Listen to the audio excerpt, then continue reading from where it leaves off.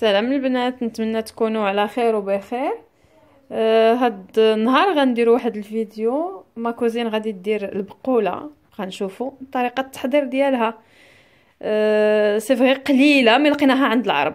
المهم نحيدوا الشهوة نتاع البقولة. آه غادي نبداو إن شاء الله.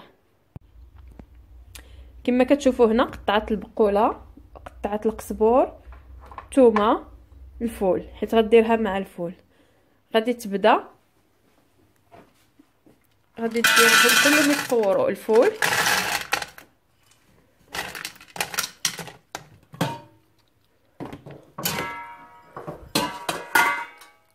غدير البقولة من فوقو.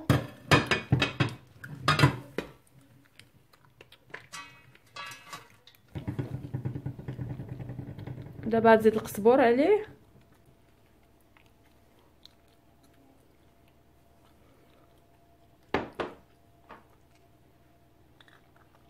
وزاد الثومه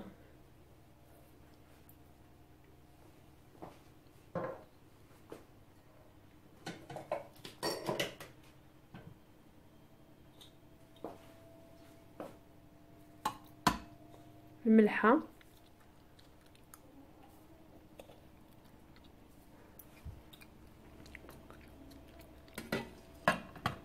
وصافي غتشد عليه. وهنا. هنا هادي نتاع الضو كديرو واحد خمسة وربعين دقيقة. يتفور. المهم تتفور ورجع معكم. دابا تفورتنا البقولة مع الثومة وتفورنا الفول. دابا غنرجعوهم للطاوة اللي غنقليوهم فيهم ونزيدو الشرمولة. هنا حطيتهم هنا. دابا غنزيد زيت الزيتون.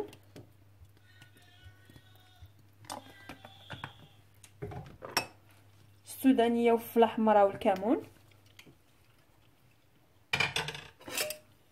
شرموله البنات المغربية يعني الثومه اوسي قزبور معدنوس فلفله حمراء كمون كلشي يعني.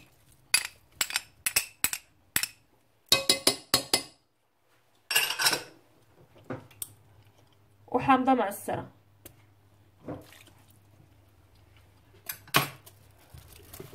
خلط كلش. نخليها تقلى وتشرب لنا العطرية. كاين اللي كيديرها من غير فول أنا كتعجبني بالفول mais البقولة بوحدها normalement وتذوقيها بزويتنات.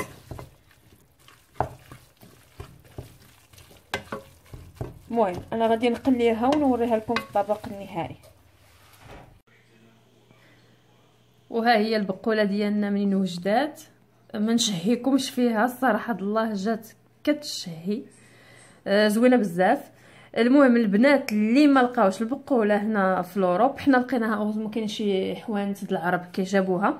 مي اللي ما لقاش أنا دابيتي فاش ما كنلقاهاش لي زيبينار أه تشرملوها تشرمولا بقولة يعني إلا كثرتو الحرور شرموله قزبور الثومه حامض هذا كتجي بحالها.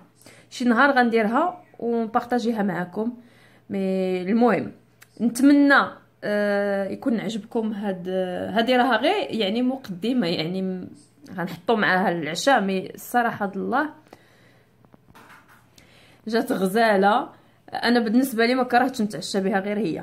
آه المهم البنات آه إلى عجبكم الفيديو ما تنساوش ديروا لايك وتشتركوا في القناة ومن هنا الفيديو آخر. نتمنى تبقاو على خير وبخير. بسلامة.